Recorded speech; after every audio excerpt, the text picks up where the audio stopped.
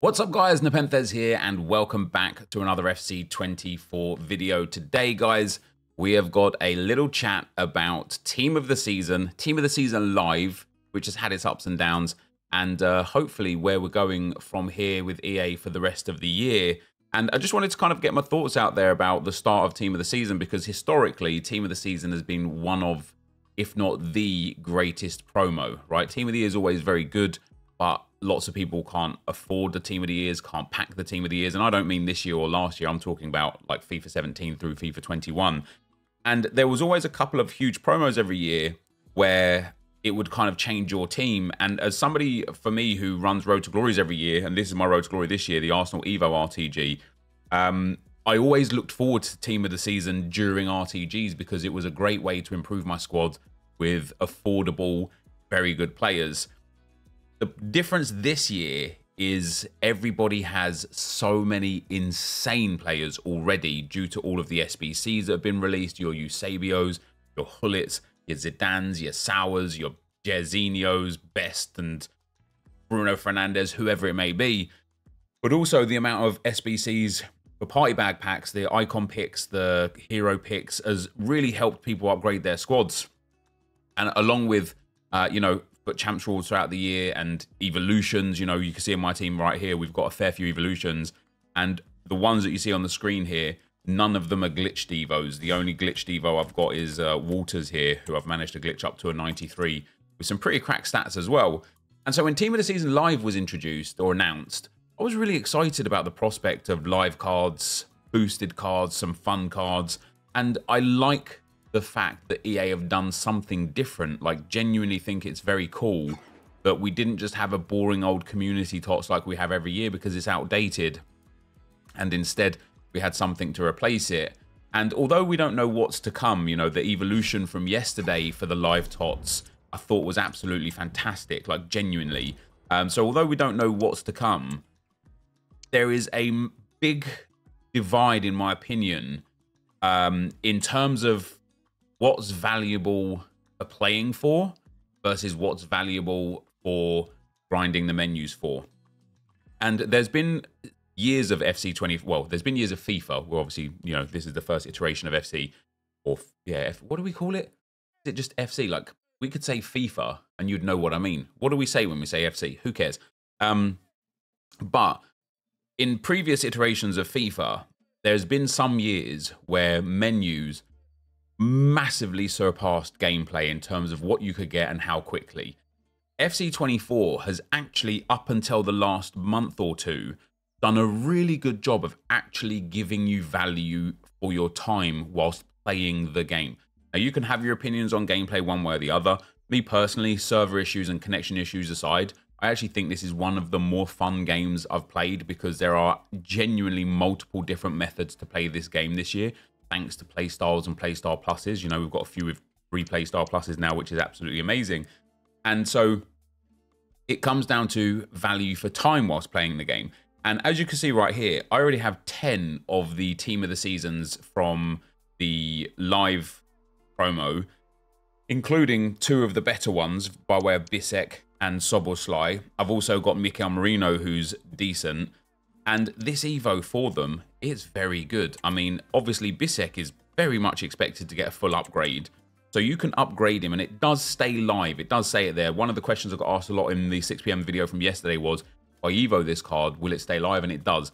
Boost a live TOTS player with upgraded stats to two new playstyles. Note that live TOTS upgrades will still apply to an Evoed version. So, first of all, it's cracking that you can get the upgrade on this Bissek, because even without the other plus two that's most likely going to come, this card is is crazy, right? This is a card that will get into people's teams. But so many people have got a Kanji Evo. They've got Bastoni Evo.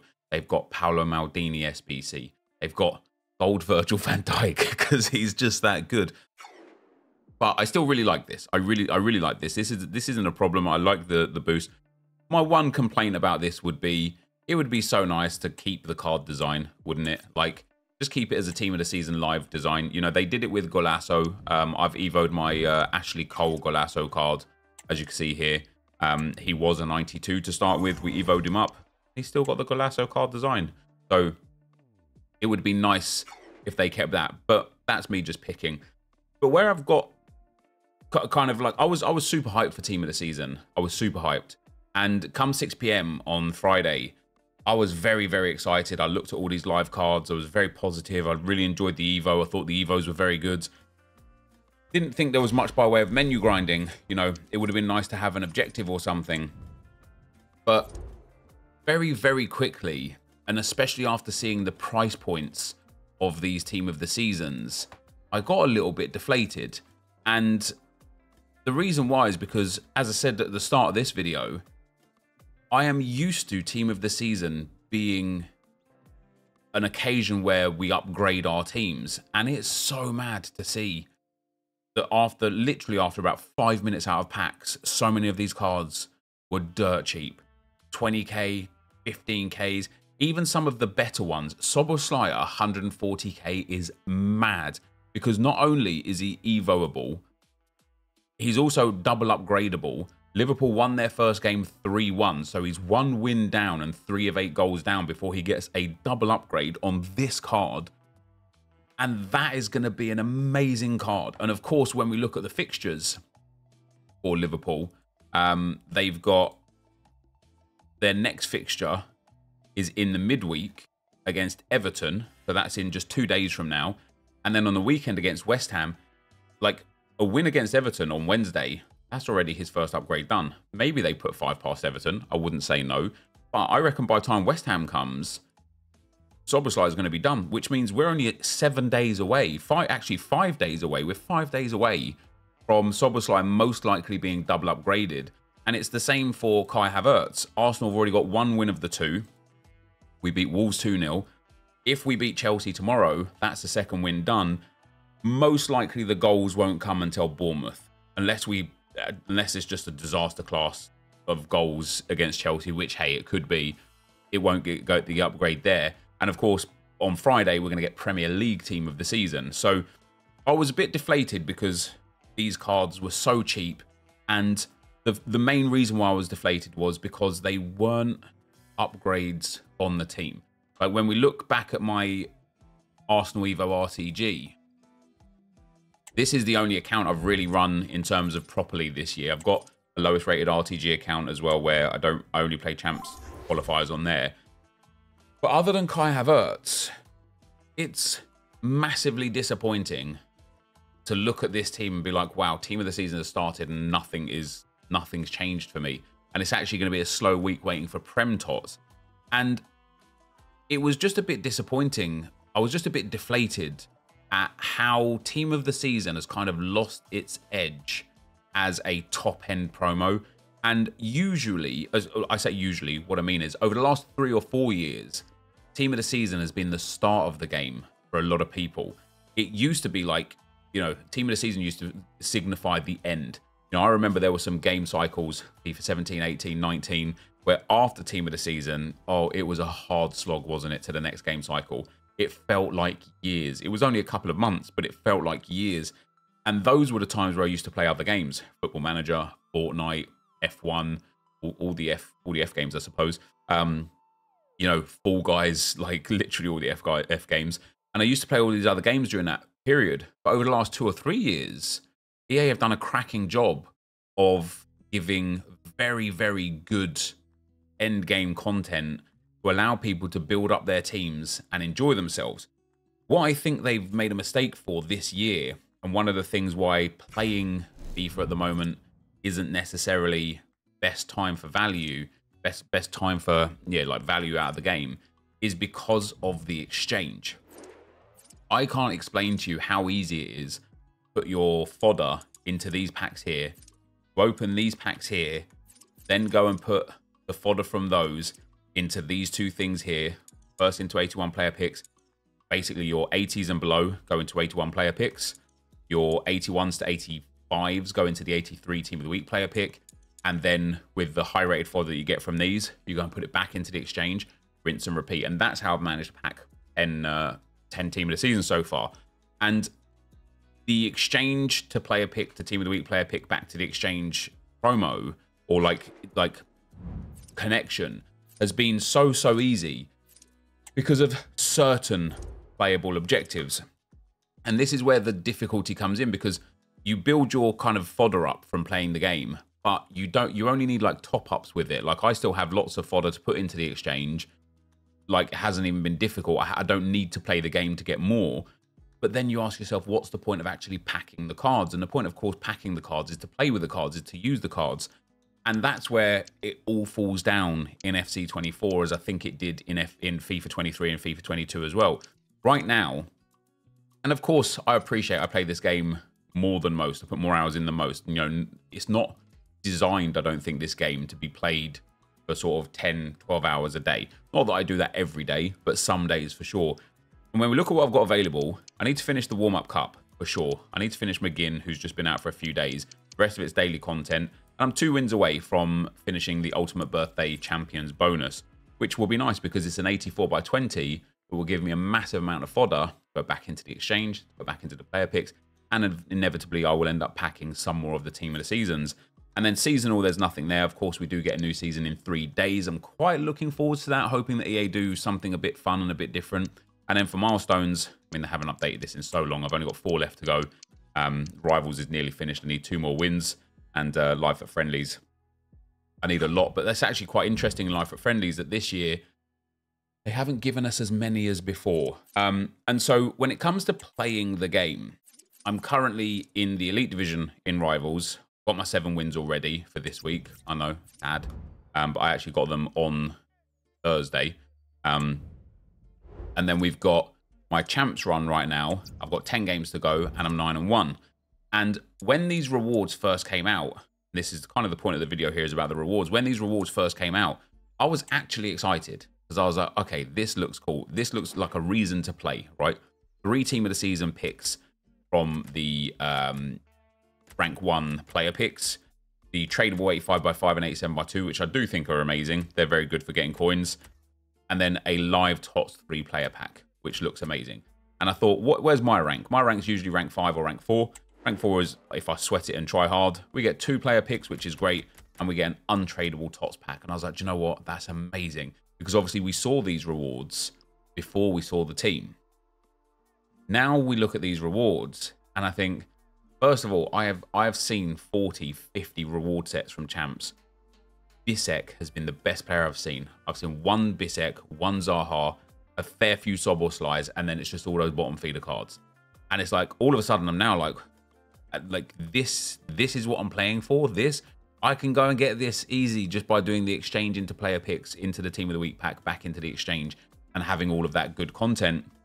And it kind of uh, deflated me a little bit again where i was like damn I, I want i want to feel like that progress. I want to feel like i'm upgrading my team through team of the season and it's just not happening. And so then when we saw the squad battles rewards what have i got like silver two or something? Silver one when we saw the squad battles rewards change yesterday because obviously squad battles updated i could not believe how dumb they were let me start you off in Silver 3, right? Who cares about Bronze? Silver 3, you get a Team of the Season Lone Player Pack, right? Silver 2, you get two Ultimate Champs, max 90, guaranteed, untradeable players. Two, right? Silver 2. The Silver 1, you ready for this? You get one Ultimate Team Champions max 90 overall guaranteed. So you get one less Team of the Season card or a higher rank. And then in Gold 3, you get yourself one max 90 Team of the Season card. So Silver 2, other than the tradable packs, which at this point in time, and this, this is this is where I think EA have kind of got a, a, a weird issue, is that Premium Gold Players Pack, Jumbo Premium Gold Pack, and Premium Gold Pack day one of the game, they're super valuable. Month one of the game, they have value. By month two of the game, these these sort of packs are discard already, right? It's nice that they've updated the rewards, but they need to make the rewards way more in line with everything else in the game. And you could argue that instead of updating champs, rivals, and squad battles rewards, they've given the daily play objective, which gives you, you know, an 81 by 2 twice, an 80 by 5, gives you the group rewards of like 85 by 5s. That's kind of like your, hey, you get this for playing. but people don't really feel that. That's kind of like that doesn't feel like you're like if I played a whole bunch of champs and rivals, I wouldn't feel like oh man, I feel so rewarded because of the daily play. I feel like daily play is like an added bonus, and so I would rather they put some more things in champs and rivals and even just got rid of daily play. You know, just let me feel like I'm getting rewarded for champs and rivals because, like I say, these packs, like so, gold gold three gives you one. These packs just aren't valuable compared to where they used to be. Gold one gives you one, and I wonder if in EA's head they're like, well, you get a mega pack and a premium gold players pack, whereas for silver three, silver two, you only get a premium gold players pack and a premium gold pack. So that's why you get the extra tots. But it is crazy that Gold 1 gives less Team of the Season rewards than Silver 2. The only reason why it would make any sense is if this wasn't max 90. Then I'd be like, okay, fair enough. You get two max 90s at Silver 2. You get one at Silver 1 and above, but there's no cap on it. You'll probably still only get an 89 or a 90 anyway, but at least there's that chance. And then when we're going to Elite as well, Elite 3, guys, offers one Team of the Season card, no minimum guarantee. Elite 2 offers one team of the season card, no minimum guarantee, and Elite 1 offers one as well. But look at the rewards here a rare players pack, a team of the season, and 22,000 coins. Whereas Elite 2, a rare players pack, a premium gold players pack, a team of the season, and 16,000 coins. Elite 1 isn't even better. You have 6,000 more coins in Elite 1, but you lose a tradable premium gold players pack, which I would argue is worth around a discard price or like lowest sale price, about 6,000 coins. So you don't actually gain anything by going up to Elite 1, which is mind blowing. And it exposes this huge issue, like with the Champs rewards, like with the Rivals rewards, like with these Squad Battles rewards, where in actually playing the game, you get far less value in terms of improving your squad and upgrading your team compared to just sitting in the menus for a fraction of the time. Like, you know, you play 20 games of champs, let's say, 20, 20 games of champs, assuming that every game doesn't go to 90 minutes because, of course, people get rage quits or people just leave the game early. Even still, for 20 games, you're probably looking at like four to five hours of gameplay in one sitting or uh, God knows what rank you'd get. But let's say you get rank nine in uh, in champs, or sorry, not rank nine, nine wins. Who's getting rank nine? let's say you get nine wins and you get rank six here, for four hours, give or take, you're getting one team of the season player pick, an 85 plus, an ultimate pack, and a 50k pack. You can get the equivalent of this from grinding the menus in about three minutes. And so I'm not necessarily saying I want this to be like 10 50k packs, 585 by 10s, 1087 by 4s, 15 team of the season player picks, and 30 ultimate packs. That's ludicrous. But there needs to be like it needs to be a little bit more valuable for people's time to play the game. And the other thing that I wish EA kind of paid attention to comes to the really cool Evo that they released yesterday.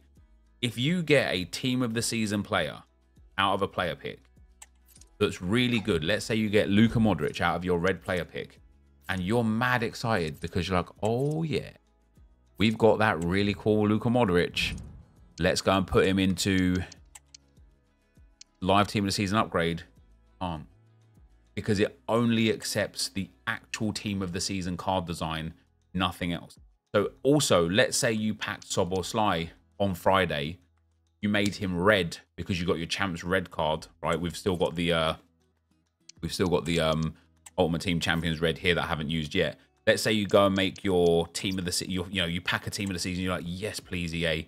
I'm going to make this Kai Havertz red, right? Guess what?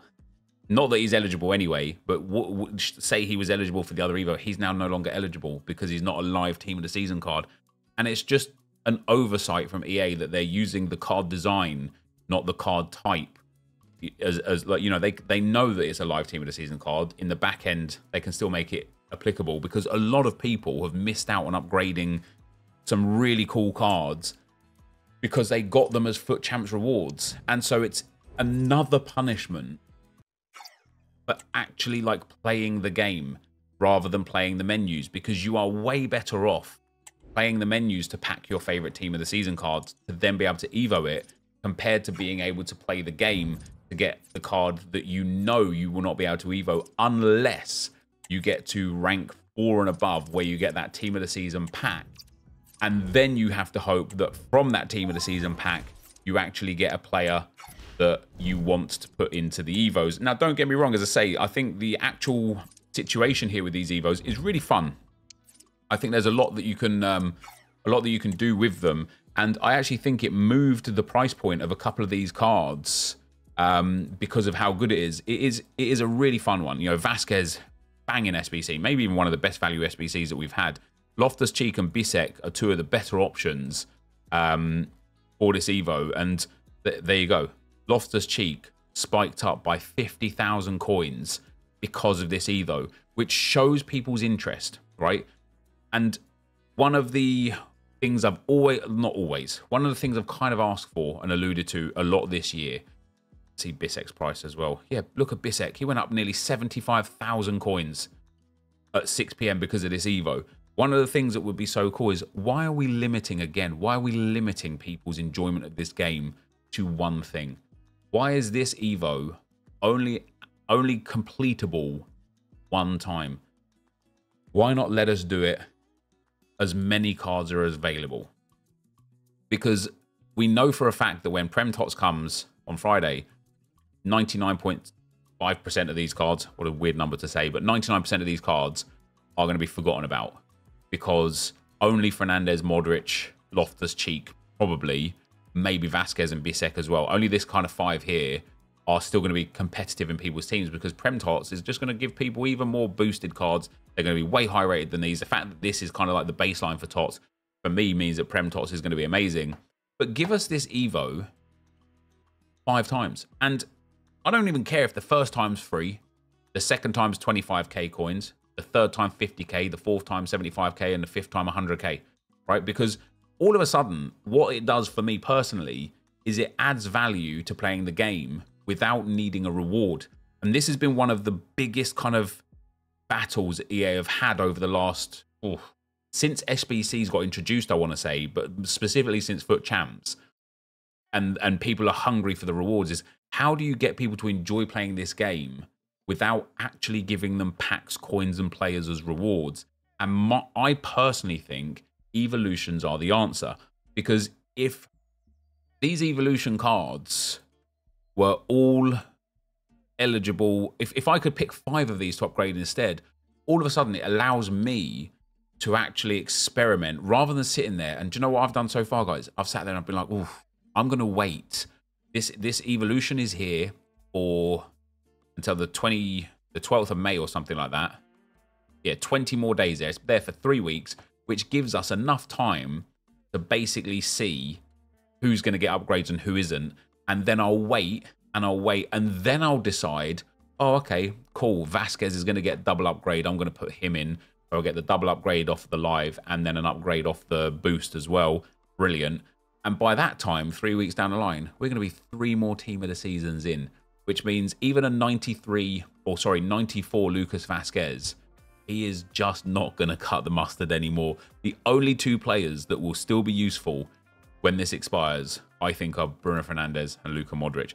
And so if EA just gave this five times, even at a, a, small coin value, as I say, progressively, all of a sudden I'd look at some of these players that I actually like the look of to play with and to test out and to try, and I would go and put them into the Evo. Probably wouldn't touch the defenders because I don't really care, but the Turland would be amazing to try out. The um, Santos would be amazing to test out. And then the, uh, who was it? The, yeah, this Mujica is very good as well. Merino, I would love to try this Merino out because he's very good in game as a team in the season. And then if he gets a couple more upgrades as well, it, it added, like, that's where the value is added for me just playing the game. I don't need packs. I don't need coins. I don't need players. I don't need anything from playing this game. I will, the value I will obtain is by trying these real cool new players that could well be competitive to the team of the year sour SBC, to the Bruno Fernandes SBC. And when you look at even uh, some of the other players, some of the um, some of the wingers that aren't so great that are available, uh, even Turland to a degree. Where have we got? What forwards have we got? We've got this David Costa. I don't really like his play styles, but he's he's there as an option. This Rafa Mujica is a great option actually because I love Didier Drogba in this game. Right, I think he's absolutely banging. One of the reasons why I love Didier Drogba is he's big, he's got aerial plus, he's got relentless, he's got incredible shooting, and he's got five star weak foot. This Rafa Mujica, even without any upgrades, with just this Evo and then a Hunter Chem style, all of a sudden I look at this card and I think I would love to try this card. And if you get some upgrades, that's even better, but I would love to try this card. But do you think I'm wasting this one Evo on this guy here who's going to have... There's already probably about 50 players in the game that are compa comparable to him. And during Team of the Season, there's going to be 50 more. Do you think I'm going to waste an Evo on this card? 100% no. So if there was five available or, something of the sort, you know how like the future stars, they gave two for each position. If there was just more available, I might actually try this guy, Evo this guy, and then be like, guys, he is worth it. Or don't waste your Evo on him because even after he's been upgraded, he's still bobbins. It would be nice to be able to figure out who's going to be good rather than just looking at the Evos tab and saying, all right, well, I've got a few days to try and pack Bruno Fernandes, Modric, Loftus Cheek, or Bissek. Otherwise, I'm probably just going to throw it onto Vasquez because Real Madrid have already got three goals. They've already got one win. They beat Barcelona 3 2 last night. So he's basically a shoe in for that first upgrade. So I'm going to pop him in. We're going to get this card. We're going to get a plus two on him. And he's just going to be absolutely amazing. And we've now missed out on the opportunity to play with multiple other cards. It's just really sad um, that that's the case. In fact, if we go to the Evo Lab with him, do love fut.gg, man. They've they've they've got some good things going on, man. They really have. Um, let me go to my let me go to my Evo Lab. Let me get that. Uh, where is he? Oh, it's going to be hard to find now with these horrible green card designs. And let's uh, customize him because he's going to look like once he gets that full boost. A couple more here, and a couple more here, and a couple more here. This. I wonder if they've got his in-game stats saved as well. It doesn't look like they've got his in-game stats saved, but look at this card. 95 pace, 95 passing, 96 dribbling, 88 shot, 89 defending, and 86 physical. He is going to be absolutely insane with the Evo and a double upgrade, but it just removes fun from every other player. And so I didn't really have like an overall point here today, I suppose. I just wanted to share my thoughts on Team of the Season and how it, it, it, it isn't even bad. It hasn't started bad. I think it's just a little bit underwhelming. And I, I, I think I don't. I, I think EA could do a good job of like balancing rewards to the point where you get rewarded for playing more than you don't because the menu right now the menu grind is just so easy and that in itself is nice but it kind of like it, it kind of does it a weird feeling when you know you can effectively get everything you want like if, if i gave you every player on this game every player if i literally gave you an account where you had every player what would you be playing for because you wouldn't be playing for the rewards at that point because you wouldn't need the rewards. If I, let, let's let's imagine a world where I give you every single player in the game, and I give you a billion coins, so that no matter what comes out, you can go and buy it. How much would you play the game? And so, and I, I think the answer is not a lot. And so, EA need to give us a reason to want to play the game without the rewards. And evolutions are staring us bang in the face as a way to do it. But for some reason, they are so scared to give good things multiple times. Like this nuclear defender Evo, I honestly think it's good. Like it's so good. There's a good like 10 or 15 players that are so good to do. But you know what I would love to do? And and again, this comes back to my uh what I get as enjoyment out of grinding things up, right? So my Arsenal Evo team isn't the best because I don't have certain meta characteristics in certain players. Like I don't play five at the back for what it's worth. I play four two three one. Um, but Ben White is my right back, and he's just too slow, right? I don't like. I have Cafu that I could use instead. Cafu's banging. Ben White's too slow. He doesn't have any defensive play styles apart from block plus. He's only got one passing play style. He's just he's not meta, right? He's he's not that way. There's a few decent players in here for sure. Like Kiwior is absolutely banging, but you know what I would love to do do you know what I would do and this maybe doesn't suit into like build into EA's ethos of trying to extort money out of everybody. But you know what I would love to do? I would love to have an England team, an Arsenal under 21s team, an Arsenal women's team, an Arsenal team, an Arsenal men's team. I would love to have the Argentinian Arsenal team because there's an Arsenal in Argentina, and I'd love to evo all of these all of these players. So when that uh, Atomic Defender comes out, I could sit there now and be like, oh damn, that's sick. Now I can take my two silver defenders from the Argentinian Arsenal and make them both 91 rated with really key play styles and take them through a weekend league run and or even a weekend league qualifiers run. And it's another aspect of the game that I hate is that Rivals is the only game mode that's open all week and it's sweaty as hell. And I would much prefer to play qualifiers over and over and over, even if the rewards were just Evos right? Even if there were no rewards after the first run, but it's just nice matchmaking. Um, and build up like fun teams, right? And and then like, wouldn't it be fun to just like take uh, when Wrexham were like really pop culture and they got promoted? Wouldn't it have been fun to take a Wrexham team and evo them up and take them through a qualification run? And I think with evos, I have been waffling way too long now, so I'm going to stop. I think with evos, EA can do a great job of allowing people to feel rewarded without actually giving them packs and coins. And I know people will say, but people won't spend money with that. But they still will. We've had evolutions this whole year. It's never, ever been easier to get the best cards in the game this year without spending money. And yet, EA is still showing record profits and record sales for microtransactions, which means the store packs are still getting bought in abundance, which means giving people a desire to actually enjoy themselves on the game does not deter them from still spending money. And you know how like uh, in champs when you complete your champ setup, you get the evolution and it goes into the store and you have to claim it through the store. Uh, so this one, this one right here, once I win two more champs games, I'll get my Ultimate Team Champs Pro and it becomes almost like a player pick in that area of the store. EA, if they like, I, I don't know, I don't know how many people actually pay for Evos with FIFA points, let me know down below. If you're still watching the video, let me know down below if you've ever used FIFA points on an evolution. I never would. I've used coins probably to my detriment. I've probably used about 5 million coins so far on evolution. But let me know if you've ever spent FIFA points on Evos. Because in that area of the game, I'd, I would not even think twice about spending FIFA points on there. I just never would.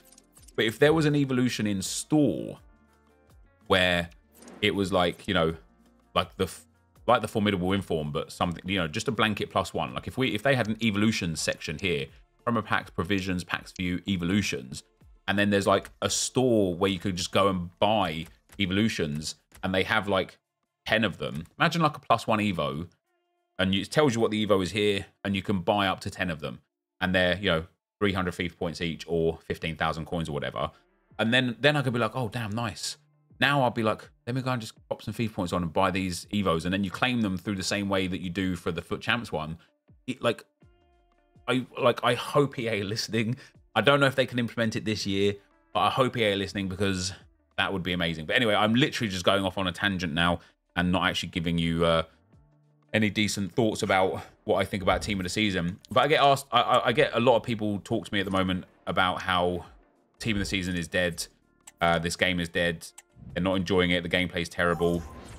And there are so many aspects of that that is true. But there are so many aspects of this game that is fun. And I think EA are just missing that one link to make it so much enjoyable for so many people. But for today, guys, for now anyway, that is going to be the end. I will be back in a little while uh, for the 6 p.m. content for today. Thank you guys very much for watching. I will see you. Peace.